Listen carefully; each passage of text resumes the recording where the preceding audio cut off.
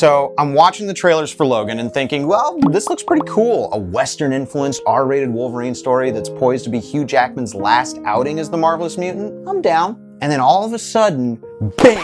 Who is this little girl that's kicking ass like it's nothing? And did she just decapitate some guy? Is that a dude's head? Well, as soon as those two claws popped out of her fist, it was clear that Logan would be giving X-23, aka Laura Kinney, her big screen debut. But I know what some of you are thinking, who the hell is X-23? Well, as far as the comics continuity, she's a clone of Logan himself. It's an attempt to replicate the Weapon X project that gave birth to Wolverine. You remember that? Shirtless Hugh Jackman in a big tank of water? Ooh.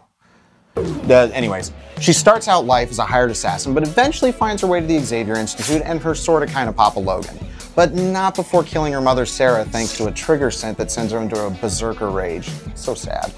Well, after the death of Wolverine, oh, spoilers for the death of Wolverine, X-23 took over the familiar yellow and blue mantle and is currently doing her DNA dad proud, but, but what does this mean for her movie counterpart? Well, for starters, it's possible that she could do the same thing and become the new cinematic Wolverine, and that would be awesome.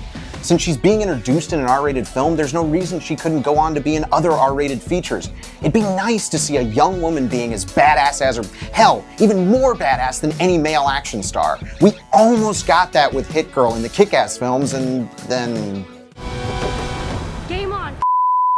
Yeah, moving on. There's also an opportunity to do some darker storylines that Hugh Jackman's Logan never really got the chance to indulge in. X-23's past as an assassin could give us some enemies out for vengeance. That is always tons of fun. I mean, look, let's be honest. Old Logan never really had the best rogues gallery to go up against. I'm a big robot samurai. Oh, I'm the worst possible version of Deadpool you could imagine. Giving X-23 a real big baddie would go a long way in establishing her as a fearsome hero in her own right. And from what I've seen, her action scenes are the most exciting in any Wolverine film to date. If we could get Logan director James Mangold or another great action director behind the camera, there's the potential for her to showcase some of the best fight sequences in any X-Men film. Look, to me, X-23 is going to be the breakout star of Logan, and if she is, she could very well be on her way to becoming a better Wolverine than Wolverine ever was. But we will find out when Logan hits theaters on March 3rd.